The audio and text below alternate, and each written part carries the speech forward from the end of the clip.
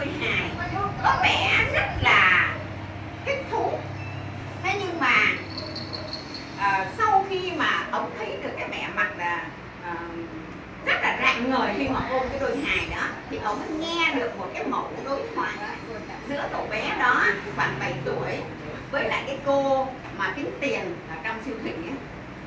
thế thì cậu đó nói rằng cô ơi cháu thấy là cháu cháu đủ tiền rồi mà sao cô lại nói là cháu không đủ tiền? Thế thì cái cô thu ngân nó cũng thấy thôi bây giờ cô đông khách lắm bây giờ cháu đi ra ngoài kia đi chừng nào kiếm đủ tiền thì đi lại đây cô tính tiền cho. Thế là cậu bé này ôm cái đôi giày đó xong rồi đi ra một chỗ đứng đó.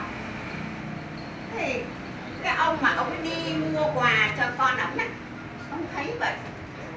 Thì ông thấy cái nét à, tội nghiệp của cậu bé đó ông mới lại, ông mới làm quen.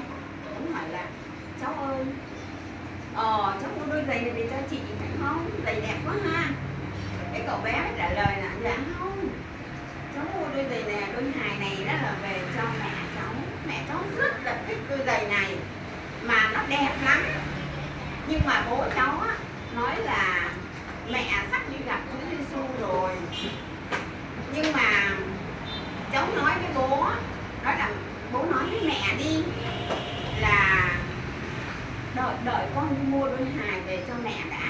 Bởi vì mẹ thích con hài lắm. Mẹ sẽ mang cái hài này để đi đến gặp Chúa. Thì chắc là mẹ sẽ vui lắm mà Chúa cũng vui nữa. Thế, ờ, nhưng mà ừ, cô thông ngân ấy thì bảo là cháu không đủ tiền. Chắc là cháu thiếu vài đồng đó. Thôi bây giờ chú cho cháu mượn. Mai mốt đó cháu đi làm có tiền rồi cháu trả lại cho chú nha ừ, chứ um, mẹ cháu thích đôi hài này lắm thích từ lâu rồi. Thế là cái người đàn ông này á thích tội nghiệp chú bé quá móc tiền ra ở đây thôi cháu à, đem đi lại nó kiếm tiền đi xong rồi về đưa cho mẹ.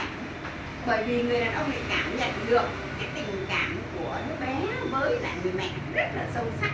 Nhưng tại vì còn nhỏ tuổi quá cho nên là cậu bé chưa có ý thức được rằng mẹ cậu đang bị bệnh nặng và sắp sửa qua đời nữa.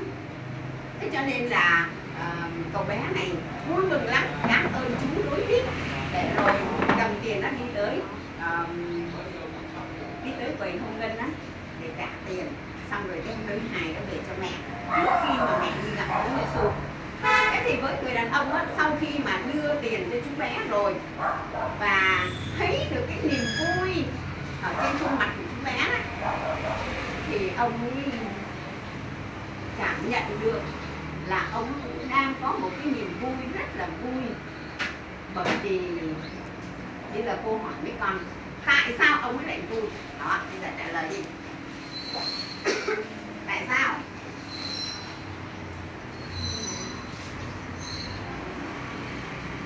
Tại sao vui biết không? Ai nói được? Không lẽ nãy giờ cô kể nó qua lỗ tai vô lỗ tai này nó nó qua lỗ